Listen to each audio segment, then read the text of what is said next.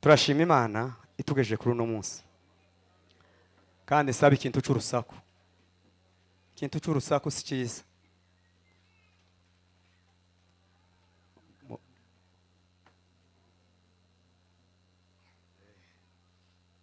Sawa. Amen. Bwana asifiwe. Nari mvuze ngo mureke urusaku. Kandi nimureke urusaku ntabwo ndi butinde mu byo ngiye gukora. Kandi nari no gutinda. Kubera ko mpano numva ibintu byankoze ku mutima ariko sinutegura igiterane ngo ni jewe wica umwanya. Amen. Amen. Mu by'ukuri turashima imana itugejeje muri iki gihe no kuri aya matariki no kuri uyu munsi. Ndibuka turi kuri gosheni revera birori ni we ari kwiyegereza akavuga ngo arashima imana ko tugeze ku matariki mirongo ibiri na zingahe mvuga aya hano akavuga n'ayandi. Na wa munsi. Naje ndashima ku bw'aya matariki. Imana ihimbazwe amen.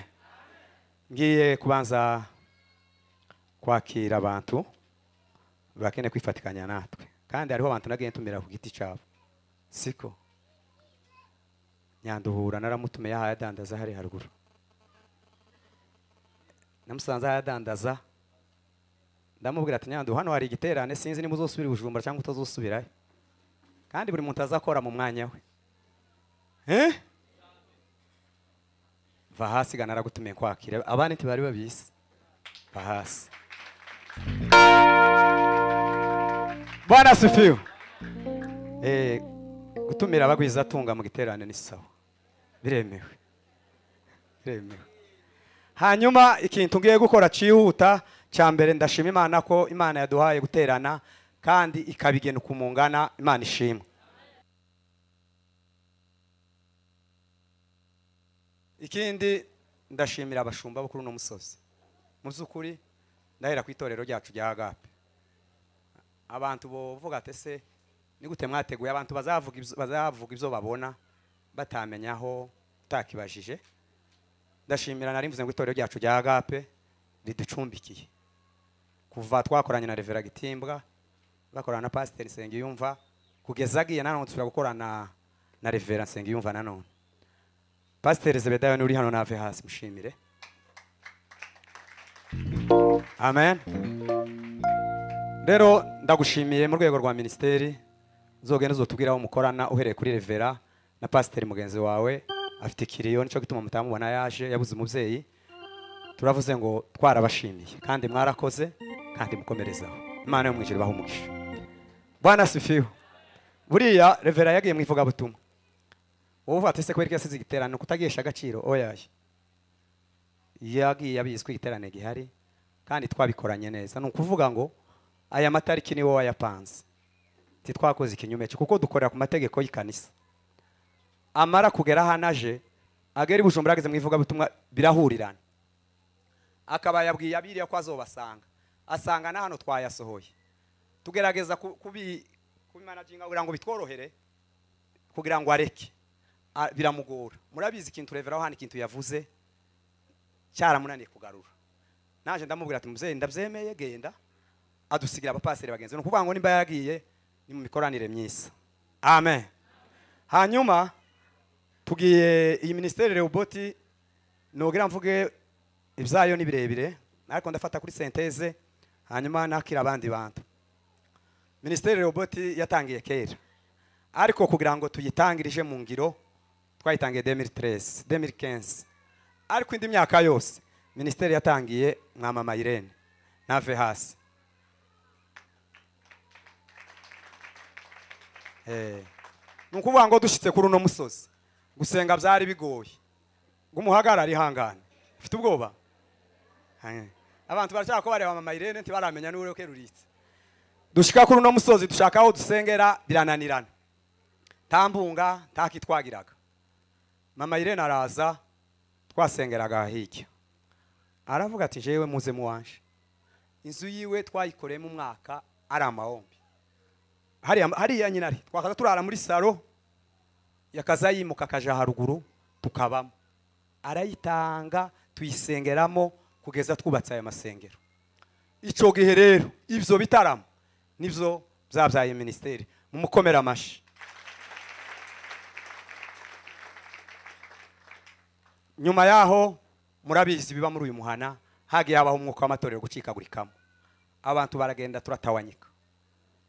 Pesike ya twese. Kandi uko twajaga gusenga ku musozi uko twasengaga hepfo muri natira aha mu gisirikare imana yaratubwiraga ngo iri kanisa rizoshira. Murimo.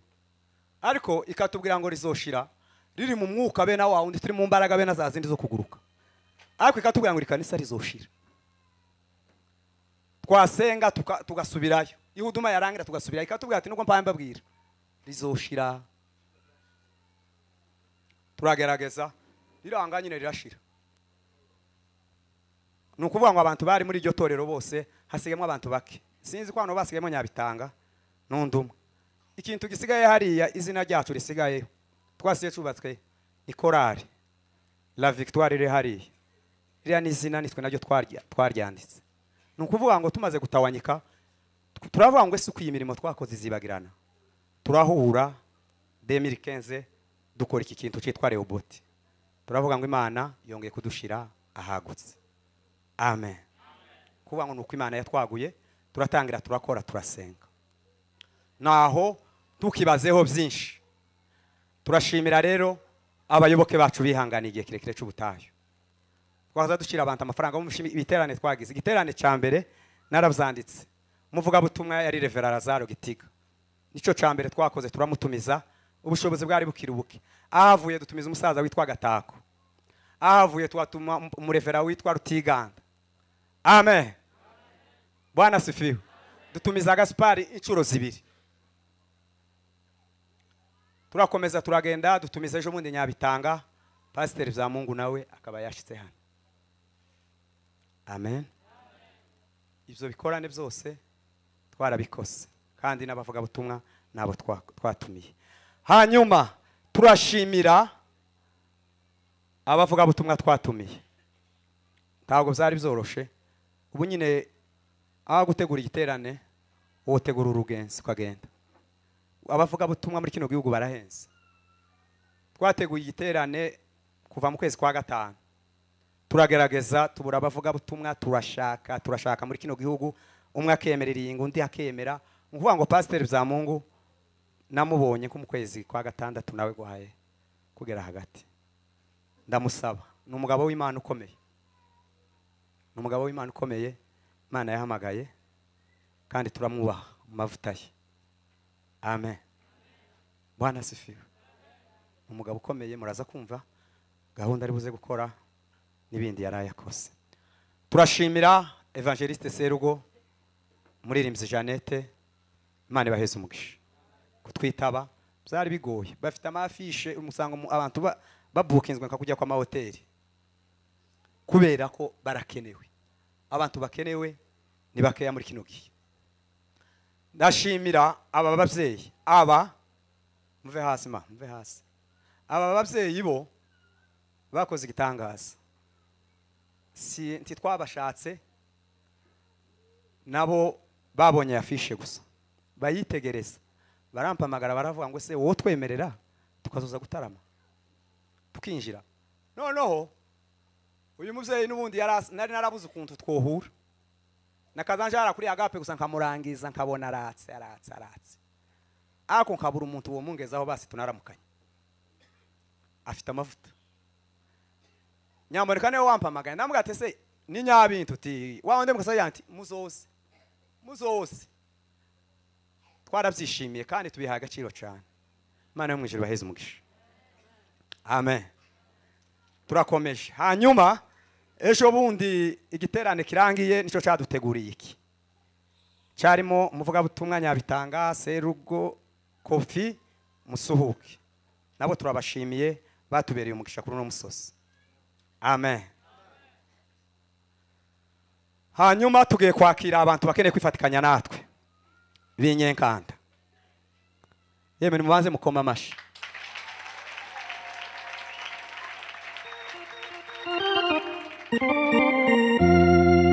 mukoma amashyi yemwe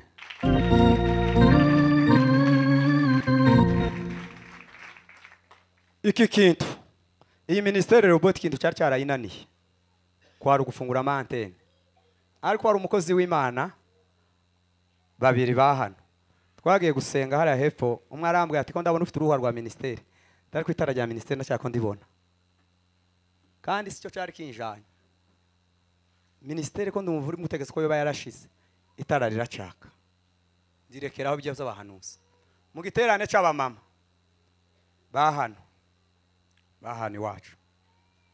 Umukozi w'imana nawe arasura arambwira ati vuba bidatinze. Minisiteri igiye gukinguka ahandi. Muve hasi bawa. Muve hasi.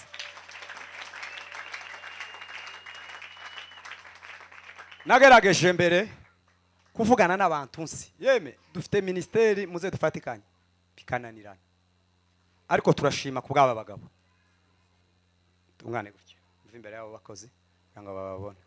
Ndashima ku bw'aba bagabo. Aba twavuganye buke. Kandi ikibazo uyu mugabo ni uwacu twarakuranye. Twarakuranye kuva mirongo icyenda na gatandatu twese twari turi bato.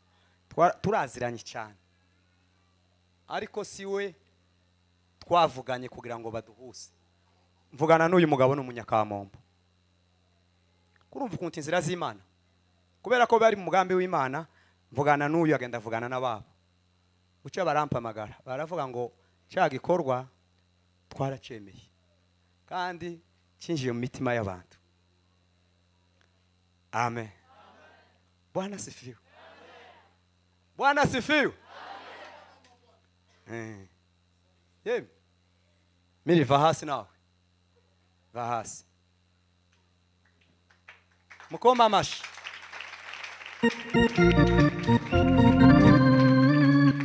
haleluya bwana sifiwe tambuka tambuka tambuka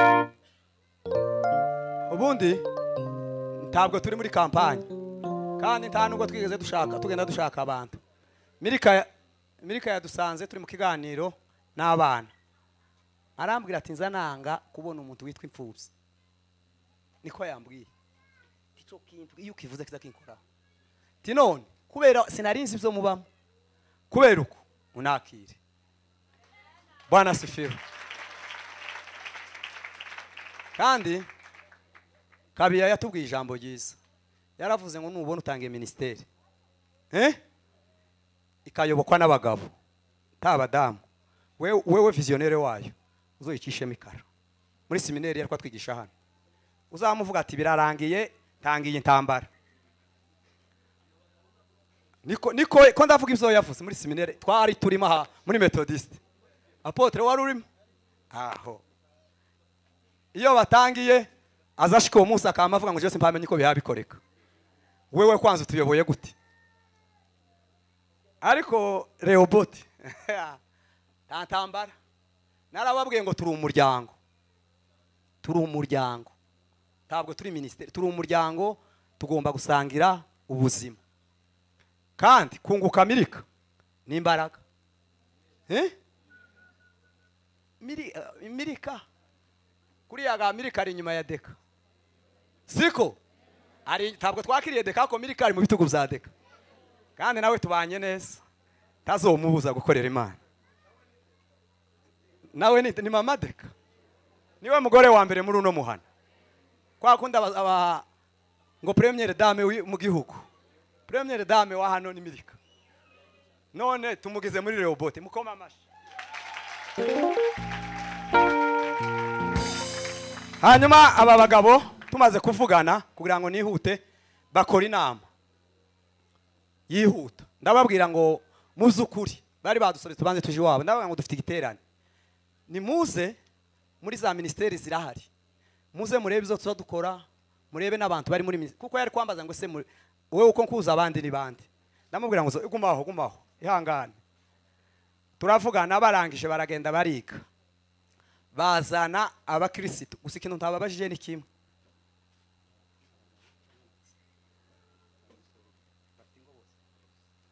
Aho. Bazana ingo. Apana abantu. Ni ukuvuga ngo ni ukuvuga ngo umugabo n'umugore. Amen. Ingo mirongo ibiri n'icenda.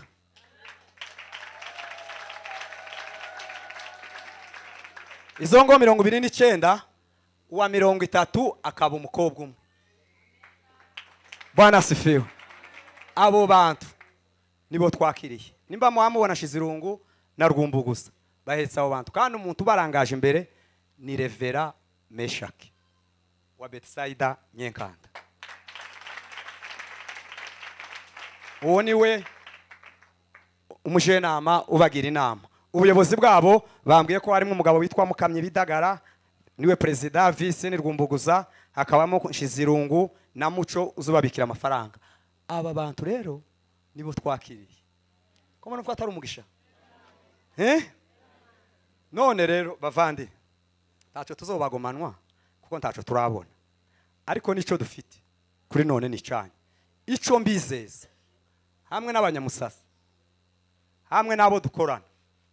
Jewe icyo tuzokora tuzobategura igiterane. Vuba cyane tuzobategura igiterane tuze tubakire ku mugaragaro. Kandi icyo giterane kizoba arimo cyo gufasha. Tuzofasha abapfakazi batagiye munsi ya mirongo ibiri. Tukivuge satana akimenye abakozi imana bakimenye dufite igiterane nyenkanda tuzojayo. Tuzafasha abapfakazi mirongo ibiri mugende amafaranga nije uzuyashaka kandi ntahaniza nyakura. Ni muri uyu n'uyu n'uyu n'uyu. Tuza tuganira tukababwira igikorwa duhaye dukora. Tuzoshaka amafaranga tubasabe tubabwire ko tugomba kujya gufasha inyenkanda. Kandi inyenkanda ni ahantu hagomba gufashwa. Timuruzi nko muri ayo muri abo bantu mvuze mirongo ibiri. Muri roboti mpaye ndeba jewe nocihuza sinoyica. Kumana ko ntocihuza ah pastor rwara ko ntocihuza nyamitavo yo chihuza zingahe? Mirika yo cha zingahe? None ihuza mirongo ibiri mufite ikibazo? Pastor byamungu yari yatubwiye ngo mufite ikibazo cyo gusaba ikintu coroheje muzamukora ibintu biremereye. Yeme ni muze muze mwakire bano bantu. Muze mubakire gira bicare dukomeze n'ibindi. Curanga wa curanga gira babahobere curanga. Murakaze cyane. Muhobere abo bantu. Mugu mwakire abo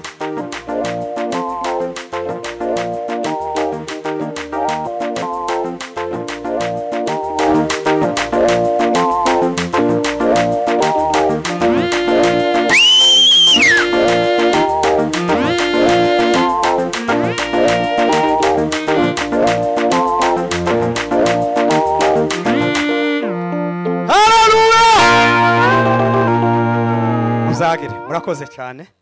Murakoze imana ibaheze umugisha ku bana natwe. Tugiye mu kindi hanyuma mugaruke gato mugaruke mugaruke nari nibagiwe. Hanyuma minisiteri rewuboti si umushinga w'ubudandaza ngo muzobonamo ifaranga. Ni ubuzima bwo gukorera imana. Iyi myaka yose wumvise twakaza twisopa. Ndaza kubabwiraho twuba twaruhukiye. Twakaza twisopa tukavugana. Rimwe na rimwe twakiraga abayoboke bibavunye ntibayabone. Tukavugana n'abandi tukavuga ngo twebwe tubaye nk'abagira nk'ubushobozi cyangwa abayobozi. Mushaka uko mugira. Tukababwira ngo bakazana ubushobozi uko bungana tukabukoresha. Ni ukuvuga ngo namwe muraje icyo muzokora n'imbaraga zanyu. Tuzokorera ku mbaraga zanyu si ku mbaraga zacu. Kandi hamwe namwe ubushobozi bwanyu bukeya mufite n'ubwacu bizodushoboza kugera kure. Nanone minisiteri ifite sitati ifite n'amategeko ngenderwaho. Ntabwo ari ibintu mwopfa kugenda gusa mwiremere. Iyi sitati ni iyanyu. Dufite zibiri iyi ni iyanyu tubahaye. Mugende muzoyisome ntimugakore ibirenzaho. Ntimugakore ibirenzaho. Ibi- ibigenga umushinga cyangwa iryo shyirahamwe iyo minisiteri ni umubiri. Hanyuma nanone ntimuzokora buzira inama. Muzokora inama mwandike. Ngiki gitabo na cyo nanone nimukora inama muzandike. Nta nama izibaho itanditswe. Kandi imana izobashoboza ubushobozi bwo mubutege ku mana kuko niyo nyir'umurimo. Mubyagire.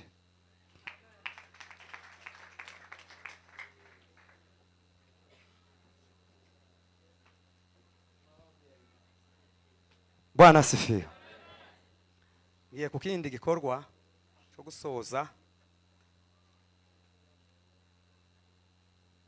Ndiyegereza televiziyo y'isukari online tv nave hasi tungane. Cyo kintu ntabwo nkivuze kugira ngo kibasetse ahubwo ndashaka kuvuga impamvu yacu. Kandi mu- umuco wo guseka mu kanisa si mwiza. Si mwiza. Mu busanzwe dusanzwe dukorana na rabagirana tv ibikorwa byacu ni ho biza bica. Byose. Kandi nawe twamubariye umugisha umuyoboro mwiza yagumye kuza. Rabagirana tv nuzokenera kureba ibikorwa bya rehoboti uzokandeho kandi nawe umushigikire. Nave hasi mu mubone niyite. Hanyuma dutegura iki giterane nagiteguye ndi bujumbura mvugana na tungane tungane arambwira ati nzazana televiziyo musasa. Uko bizaba bimeze kose nzabitaba rero afite televiziyo twakoranye ikiganiro kirekire. Ariko kandi mugomba kuyimenya. Twashyizeho ikiganiro twakoze ibiganiro birebire. Nawe turakwiyegereje. Kandi uri umuntu w'umugabo uzi ushigikira imirimo urakaze hanyuma iyi minisiteri nanone naravuze ngo wa munsi ntabwo iki giterane puwede de pare yayo kwari ugusirimba oya. Ariko ko ndumva urusaku. Hari umuntu ngiye kujaho kugira ngo mbivuge. Hari umuntu turangije gukora igiterane wakurikiranye ikindi giterane. Amaze imyaka itanu muri amerika. Kandi mbere ko mvuga icyo kintu ndabanza mbabwira irindi jambo naryo ritari ryiza. Imyaka itanu muri amerika. Yewe tutaza tuvugana. Abe na hano wanashaka. Agituye hano. N'ibijya byaha mu ibarabara.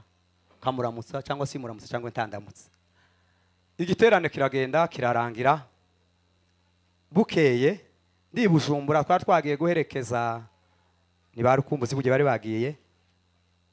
Mu ijoro ndyamye numva umuntu arampamagaye wa hano. Ni mawombi nawe nave hasi.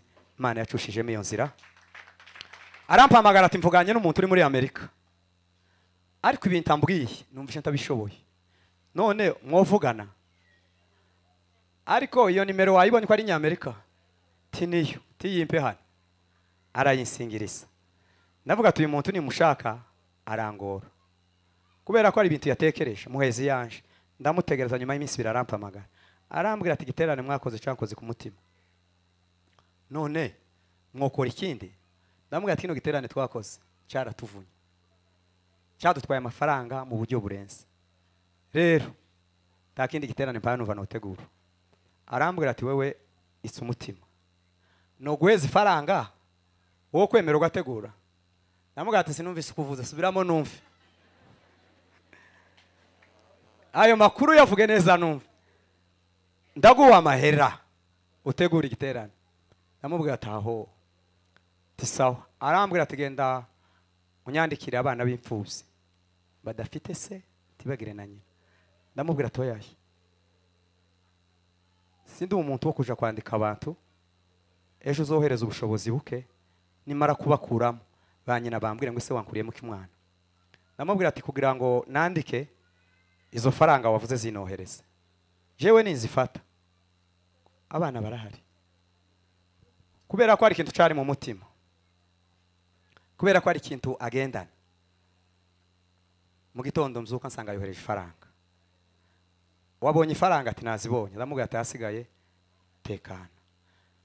Rero reka nsaba abo bana yatekereje baze. Muze muze bana muze bana muze muze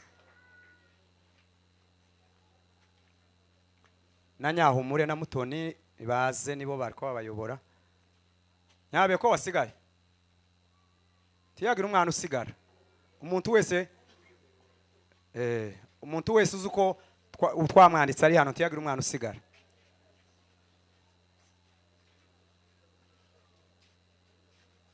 Mureke urusaku. Mureke urusaku. Mwipange neza mwipange neza nyahumure na mutoni mubampangire neza ku mirongo. Icyo duhaye dukorana namwe aba- abagufi baje imbere. Ndakomeje kuvuga bwana sifiwe turangije arambwira ati ugenda uzonshakira abana b'imfubyi b'impande zombi unshakira abana badafite nyina cyangwa se bose uzobavange. Icyo kintu twaragikoze kandi ni aba bana ubushobozi yari afite bwakoze uwo muntu wundi ndike kubikisha amatsiko yitwa nyamurambya chantal.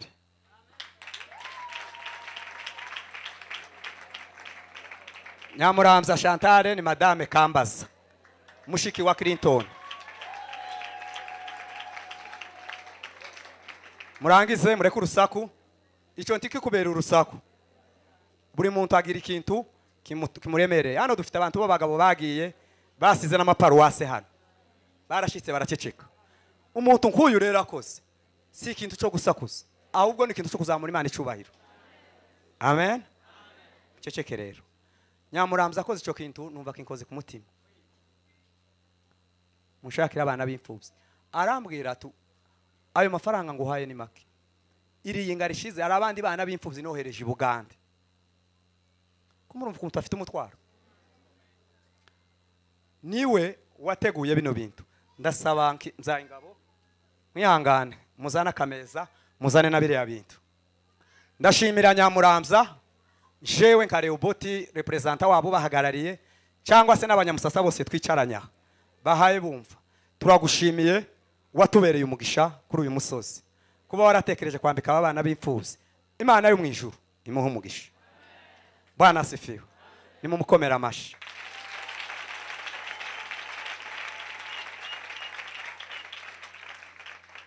ndashimira nanone viziyonere wacu. Iki gikorwa kimaze kuba amaze kumubwira. Jimmy ngira abakunzi yarambwiye ati nubwo muherutse mu kindi natanze amafaranga. Kandi eseme abateoroji bari hano? Wa munsi bamenaho yesu amavuta ya yuda aravuga ati wishe ibintu. Eh?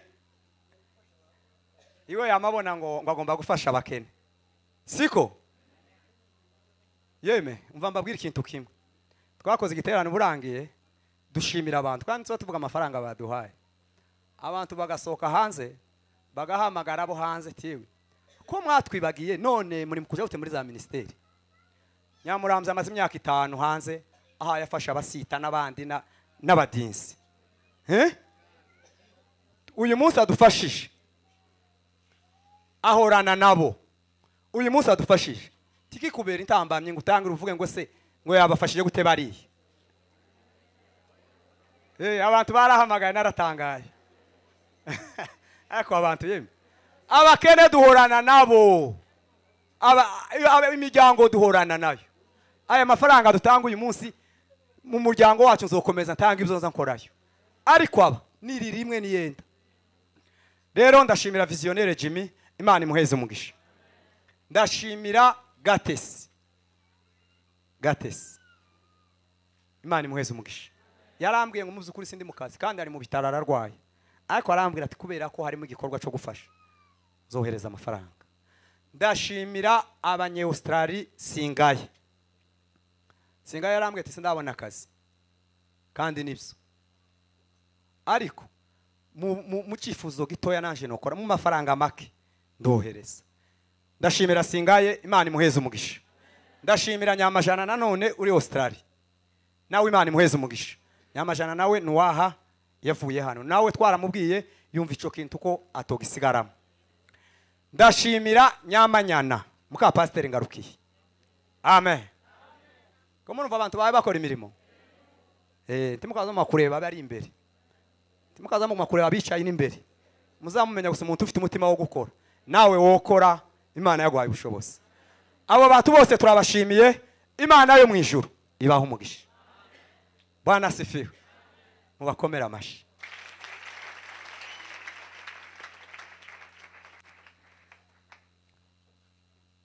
hanyuma mu kwihuta panga ibyo bintu neza.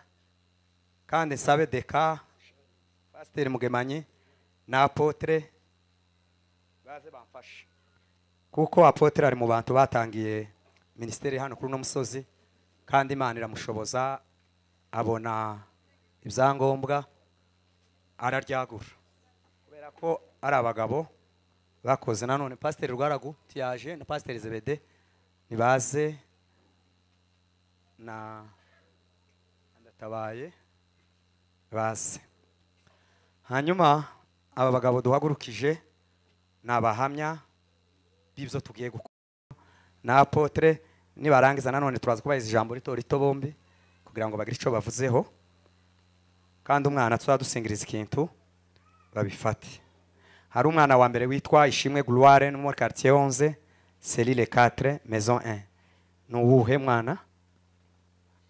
Eh ni uwu. Iyiwe ni ikabutura oya si iyo. Mwabipanze. Indi kabutura.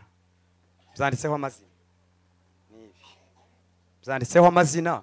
Nimubifate muza mureba amazina kugira ngo bitworohere. Sawa. Umwana ukurikirwa yitwa dani david. Quartier 6 selile 4 maison 11 afite agapantaro n'ishati. Siwe. Sibyo za- zawe data? Eh aba bana barabizi.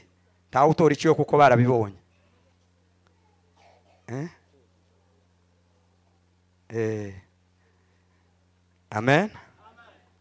Hanyuma witwa Jordani Balagizi ni umubembe kuko yaratubwiye ngo ntitukarobanure.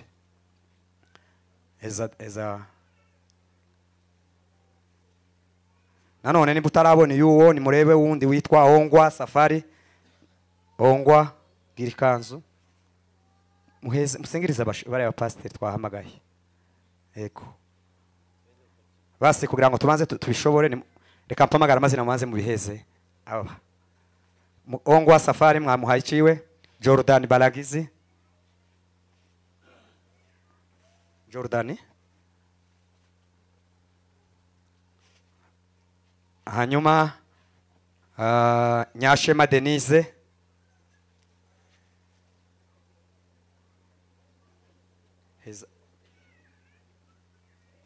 byangaza usingiriza gutya bigende gutya.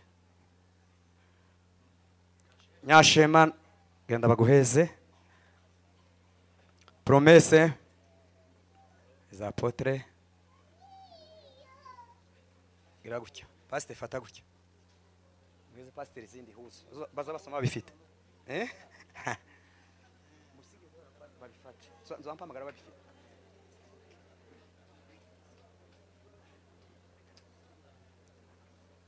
eh fatiye kwizera eh amazina arahari irisha ko ndagaranya baheze nyine ndatabaye ako ko nawe ufatiye ntacu iyi yanditseho nta wundi ubifite eh? Barayaza aba bana barayabonye. Buri mwana azayegera ibyiwe mvuye kure. Sawa. Noneho reka dukomerezeho. Noneho buri mwana ko murabona n'amahuzu yanyu mwarayabonye muzamwegera uyafite bitakugoye promese ngira ngo yahawe. Hanyuma butoto ntwaye ingabo. Muheze. Manuel ni we uyifite. Niyo imuhe. Hanyuma ah, byishimo tresor pantaro yiwe tabi pambona hano reba mu pantaro ya byishimo nyabeza nyamarembo. Niryo muheze nyabeza. Wa mwana byishimo pisi nguwo. Natambuke. Desire nawe nakomeze. Agende asanga ya potre.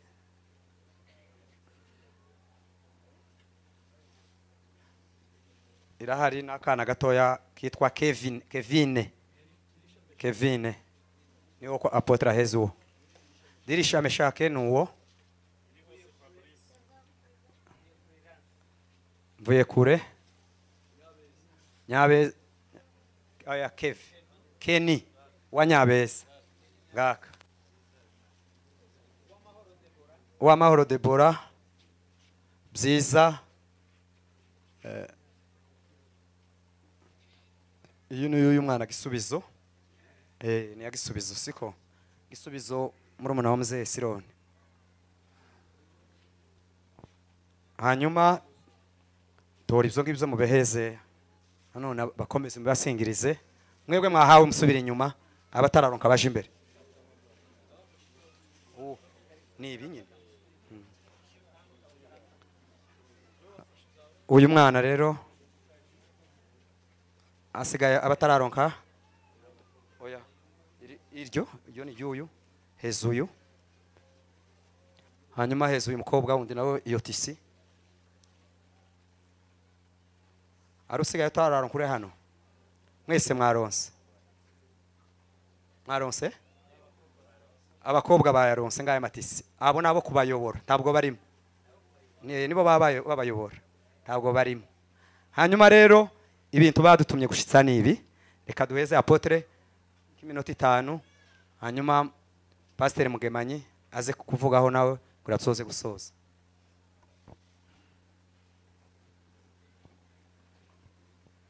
Eh, ni ugushima imana kuri ibi bintu bibaye hano.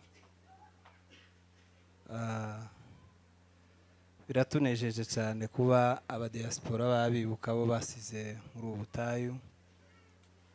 Dushimiye minisiteri ya rehoboti ni minisiteri izigaragara nk'aho ifite abantu bakeya ariko igakora ibikorwa bisa n'aho bi- birenze ubushobozi bwabo. Ni ukuri turabashimiye cyane ku mutwaro mwagize wo gusenga imana no kwagura ubwami bw'imana. Imana ibaheze umugisha hagati aho dushimiye uyu muntu watekereje kino kintu cyadukoze ku mutima cyane. Kubwo kwibuka abana b'imfubyi.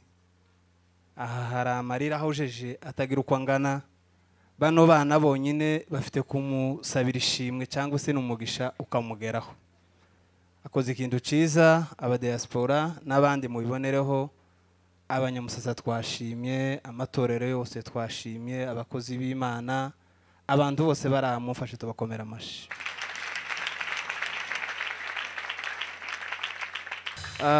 Jewe ndabashimiye mu izina ryanje bashimiye no mu izina ry'abanyamusasa bose hamwe n'ababyeyi b'abana n'amatorero. Iki kintu mwakoze imana ikabahera umugisha murakoze. Yesu ashimwe.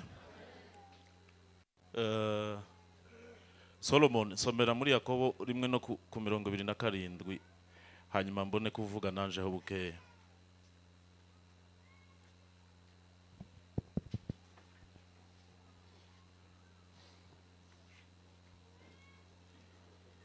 yakobo yakobo rimwe no ku mirongo ibiri na karindwi. Yego. Bibiri iravuze ngo idini ritunganya idini ritunganye kandi ritanduye imbere y'imana data wa twese ni iri. Ni ugusura imfubyi n'abapfakazi mu mibabaro yabo no kwirinda gutanduka no kwirinda gutanduzwa n'iby'isi amen. Barikiwe sana. Dini ritunganye ntabwo ari agape cyangwa karumeri cyangwa pisima ni irikora bene ibi ngibi. Eh, hashize imyaka mirongo itanu n'umunani umugabo witwa robert peace bob ni agasirino ya, ya, yasohotse mu ikanisa aja kuba umumisiyonere ashike areba ngo abana b'imfuzi areba abapfakazi areba abakene. Icyo gihe hari imbere y'imyaka za mirongo itandatu abanyafurika twishwe n'inzoka bita amibe bayitaga gute kera? Inka eh? rubaga impande kubera kunywa amazi y'ubucafu. Noneho asubireyo iwabo muri amerika. Yandika igitabo cyitwa ngo icuho kiri mu butumwa bwiza. Aravuga ati naritegereje nsanga tugira amapuberi abakristo tuza dusohoka twashika tukajya ibyo twasize mu gatondo n'ibyo dusize saa sita tukajana muri puberi. Ariko abakene imfubyi n'abapfakazi bashika inzara ikabajya yesu yagaze asohoka yabitegereza bashonje agasengera imikate n'ifi yamara akabagaburira. None twebwe idini rya none ni nk'aho twagiye kinyume n'ibyo yesu yadusigiye. Akereye umushinga witwa world vision. Uyu watwambitse watwubakiye amatwarete bagaza bazana ni n'ifaranga bagaheza abashefu de n'abadeserire eh, baza bubaka amazi mu barundi aravuga ngo ubwo ni bwo butumwa. Ah, ni bwo butumwa dukwiriye abakijijwe bakiriye ivanjiri nk'iri dufite twebwe. Ah, ntidukwiriye kuza tuza tukicara hano tugatamba cyane tugasenga cyane aravuga ngo ikibazo isi ya none ifite. Ngo nuko twebwe abakirisitu ngo batubwirije nabi. Batubwira ko umukirisitu atazaja muri politiki. Politiki ngo tuyirekere abapagani. Batubwira ko umukirisitu atoba ambasaderi. Abambasaderi bose bo ku isi baba banebwe hanyuma politike ikajamwo korupsiyo aravuga ngo iyo ukijijwe utegerezwa gusohoka ukaja muri politike ugatunganya igihugu. Ugasohoka ukaja mu mishinga ugafasha imfubyi n'abapfakazi. Hanyuma rero ndashimira robert. Ndizera ko nawe mu myaka mirongo itanu cyangwa ijana iri imbere abazaza bazoza bavuga aya mateka. Numvise ibyo wavuze genda muzogire site. Mushireho n'akantu kavuga ngo mwandike imirimo muri ko mukora nimumara mushireho akantu hepfo kavuga ngo ushaka guterera akirike hano. Yama yinjira mu bintu byanyu ashiremo ifaranga. Hanyuma tugire zino nkambizi ziri imfubyi n'abapfakazi cyangwa bamuvuga ngo murenge without orphans. Murenge iziri imfubyi n'abapfakazi. Kuba imfubyi ni ukubaho udafite usaba minerevare ni ukubaho udafite usaba ikirato. Ni ukubaho udafite usaba eh, ikintu cyakugoye. Hanyuma rero kwifatikanya n'imfubyi mu mibabaro yazo n'abapfakazi mu mibabaro yabo. Kubasura ntabwo ari ukuja gutorera. Ni ugukora bene iki gikorwa. Hanyuma icyo abandi baturushije uko muzamubona twebwe duhora hasi. Nuko twakuriye mu miryango y'abantu bataza batanga amakanisa simanse afite furesheri dutanguye kuyabonera ino gufasha undi muntu igitenge ubu nyine ni ho biri ko bigenda byoroha igituma aba- abantu ntavuze mu izina baduhora ku mitwe ni ukuntu azayandika ntafu twagaza tugiye amajone mwagaza mubona iba ku bikarito. Yanditseho ngo help fro- from american people. Imfashanyo iturutse ku ba- ku bantu bo muri amerika. Nasonye amategeko yabo mu gitabo cya dage mills wa mupasiteri ni kuki abakristo badatanga icya cumi z'abakena. Baravuga ngo amategeko yabo itegeko riza rituma batunga. Ngo ni ugufasha ngo wowe ukamenya abo wafashije. Ariko abo wafashije ntibakumenye. Iyo ni purensipu ya mbere. Ngo nico gituma bariya baduhora ku mitwe bamenye ibanga ryo gufasha. Hanyuma abaswede igituma baturi hejuru. Mfite igitabo ndiko nsoma c'abamisiyoneri b'abaswede. Bagaza bazi buvira n'ifizi bashika bagasanga bakaka ntibazi kurya amavuta. Bakabegeranya kaka umunsi umwe yigeze ambwira sintinda abashefu baza barondogora. Akinga umuryango. Ngo umuzungu yarabigishije ariko bigisha guteka amavuta ngo azana umuryango arawukinga ngo urataka. Amara azana amavuta amena ese ni misenyeri? Bazita isenyeri ngo amenamwo. Amara arasubira arakinga. Ngo ese ko murumva umuryango uri kutaka? Baravuga ngo yayi ngo muzoza muteka amavuta mujye ngo ni ho mutazoza mu mubera nk'uyu muryango. Batwigisha guteka bamara bakaza bashaka abana batoya ngo babajane ku masomo. Ba sogokuru bakabahungisha. Nimba nzi gusoma uyu munsi nshimye imana ngo ndagushimiye ko nize. Umukecuru wapfuye kera abuzukuru b'imana izaba yirukanka ikabaheza imigisha kubera nasenze gutyo.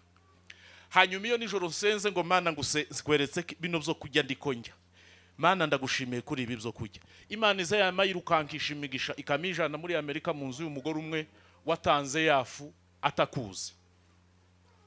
Turumvikanye. Ubumuga tugifite bukeya ndiko mbona nuko twebwe tuba dutanga ifaranga ngo batubone.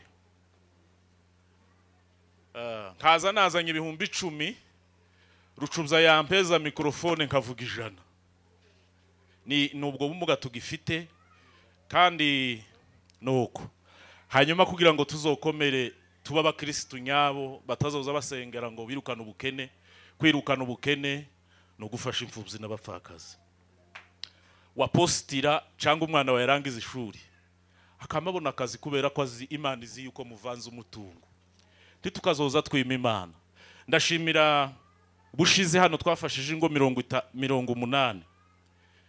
Hari umugabo wigeze kuba shefu deka hano uri muri canada ninde hajya bigabo. N'abandi yagize ishyirahamwe rimeze nk'uku kwa hcr rifasha ino ni bugande n'ahandi hose hari abantu bagowe. Ejo bundi yahaye imiceri n'amavuta ko turakura rero twivana mu bukene. Kuva mu bukene ni ukurekura tugafasha bene abo. Rero bwana robert n'abo mukorana imana ibaheze umugisha kandi ndashimira imana ko ah, madame yabonye umuryango ni umunyamerikaga nashika azoza finance imfubyi hanyuma tuzosiga umuryango ukomeye ku isi. Imana ibaheze umugisha. Murakoze cyane. Hanyuma aba bana ba. Buri mwana areba umuntu umwegera amusingiriza ico icyo afite. Turashoje.